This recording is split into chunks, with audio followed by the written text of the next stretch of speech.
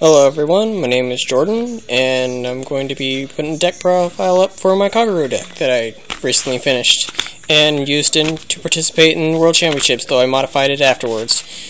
Um, the Seattle qualifiers was pretty good. I mean, I only made it to the third round, but I think I did pretty good, and my team did. My team went, went really awesome.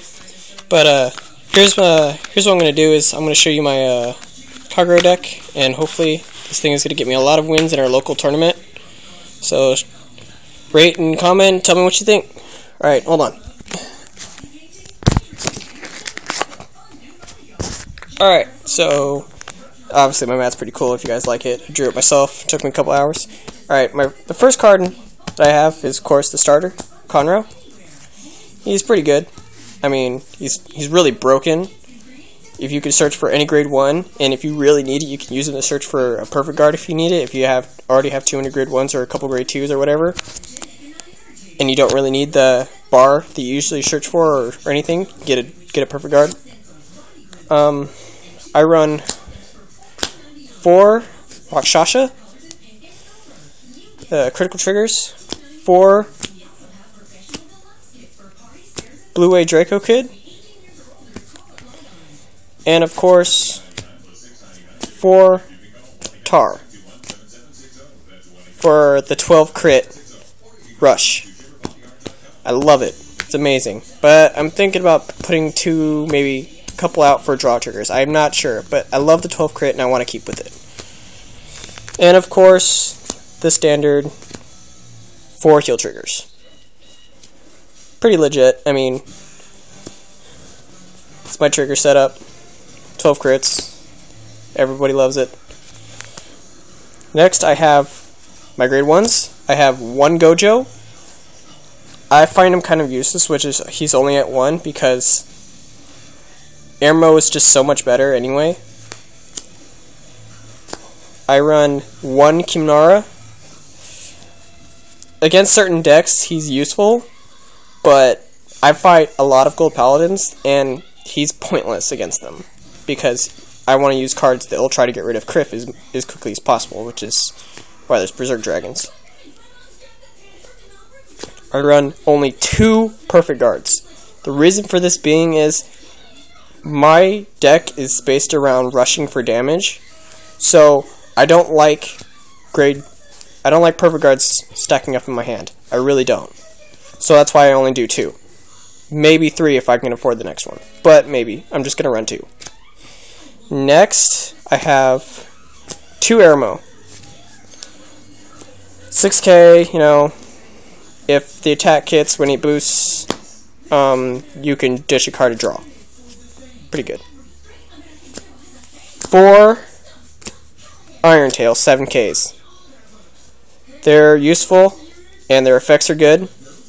And in in my Kagero deck, they're just as good as Bahr because the 1k difference doesn't really matter. And of course, the 4 Bahr. 4 Bahr, 8k, vanilla, standard. Next, I have 2 Berserk Dragon, Counter Blast 2, retire, grade 2 or less, pretty good. 2 Tejas, I just recently added these deck in replace of uh, my superior interceptors. Berger was a pain in the butt. I like that I gave him the extra thousand for guarding, but I like the fact that I can poke at the gr grade ones in the back to uh, annoy my opponent. So I, I replaced those with these.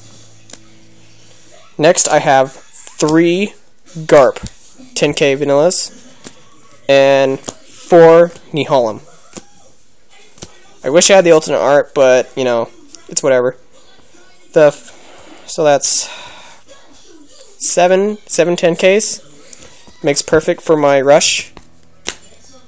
Now to the grade 3s. 1 Dragonic Overlord. In the rear guard with the Lawkeeper deck, he's really good if your opponent is already rushed for 4 or 5 damage and they have low minimum cards in their hand you combine Lawkeeper's skill with Dragonic Overlord's skill in the rear guard, that's that extra 5000 really makes a difference and they cannot guard it. And getting a critical trigger or another trigger it's just it puts them at a such a disadvantage with that extra 5000 from his skill. Two arch dragons. They're uh, they're really good.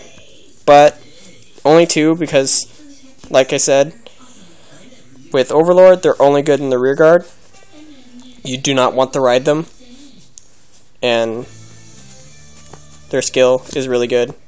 So with Bahr behind them, they'll be a 21. And of course, the boss card. Four Lawkeepers. The main grade 3 that you're supposed to ride in my deck. He is the Limit Break Camarades 1, where you bind all your opponent's units, and if they have 5, they have to get rid of 1 after calling them all back and he becomes a 20 or 21 K beater with uh, either Bahr or iron tail behind him.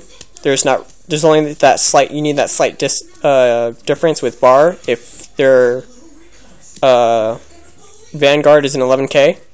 But other than that, a Iron Tail is really good behind him. Other than a Bahr, and you save a Bahr for your rear guards for that extra boost, just in case you need it. And there's that. That's my Kagero deck, Lawkeeper build. I'm going to play this a lot for a while until December, where I'll be switching to Ember Dragons. Hopefully that that switch will be good for me. Alright. Thank you and have a nice day.